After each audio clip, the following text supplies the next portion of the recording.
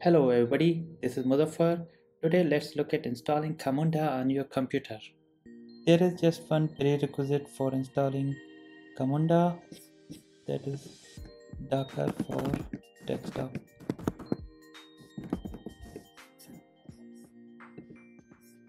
We can just install it from here and make sure it is running from here.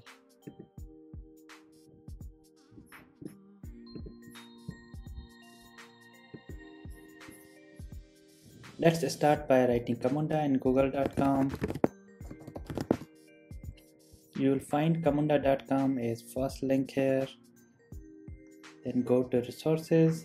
Then in Camunda platform 7 section, press download button. Here you will find three Camunda editions like community, enterprise and enterprise for customers. Today we are going to install community edition which includes BPMN, DMN, task list and cockpit. If you scroll down further, you will see installation steps. Keep going, you will see other distributions. There are three distributions.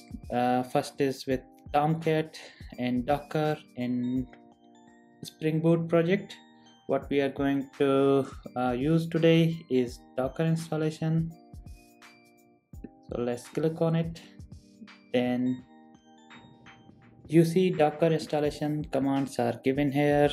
We just have to pull the docker image then run the container. Make sure you have docker running.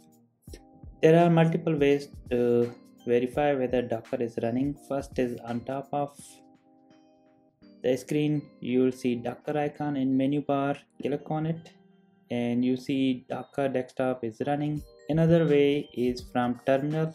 If you just do docker ps you will see we didn't receive any error here and it seems docker is running. Another way is you can do docker version and we can see versions which mean docker is running. So let's go back copy this command pull docker image from docker hub. Go back to terminal and then paste this command. Hit enter.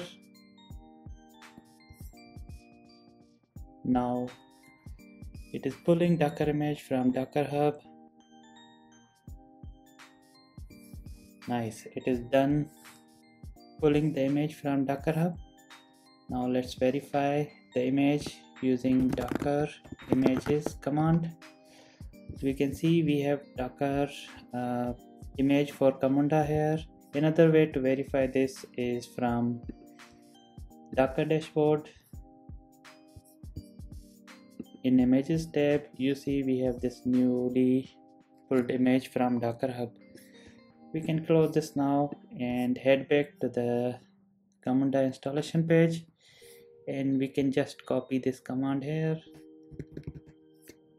And head back to terminal to start the container. You can paste the command here and press enter. If you see an error like this you can fix this by pasting the command again and just removing the name part then press enter Camunda now seems to be up. Let's verify the container using docker ps command. We can see this container is already in up status and it is currently listing on this port 8080 on localhost. Let's go back to the browser and open a new tab then localhost 8080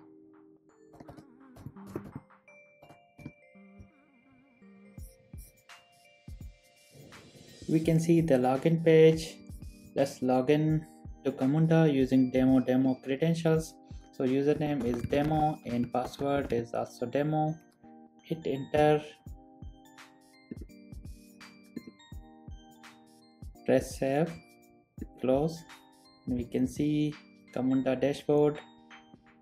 Camunda Community Edition comes with some sample data. We can verify it from cockpit. Running instances.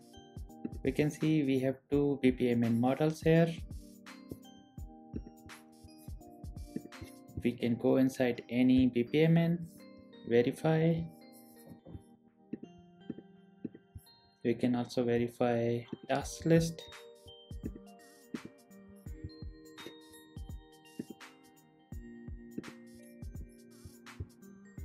User management.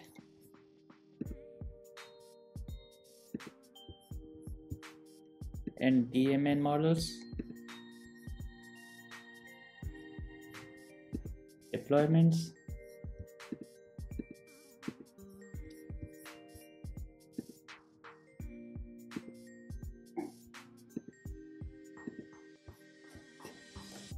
to stop Camunda we can go back to terminal then do docker ps we can see Camunda docker container is running here with this id we can copy this id then we can do docker rm to remove this container. Before we do rm we have to do docker stop then container id then we can do docker rm and container id to remove the container. So now if we do docker ps we won't see any container for camunda if we go back to the browser and refresh we won't see camunda running. We can run it back again by going to camunda resources. Download.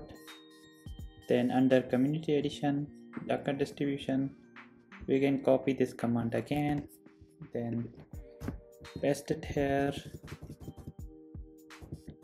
And removing this name flag press enter.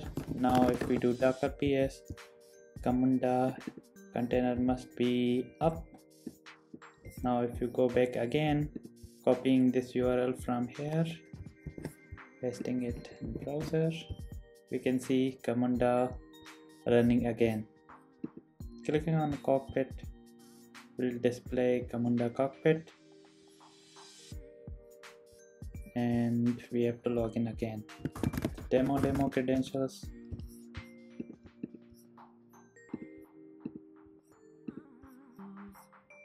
So that's about it for installing Camunda on your computer with Docker.